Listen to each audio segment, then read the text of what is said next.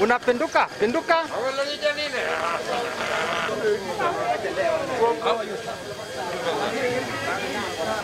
Señora, yo quiero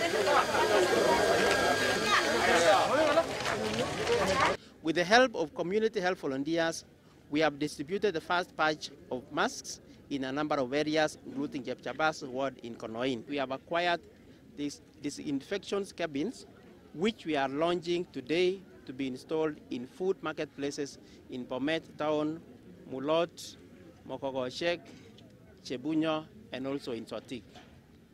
Important to note also is that we have secured an emergency toll-free line to be used for distress calls during this crisis period. The number is 0800 720 562.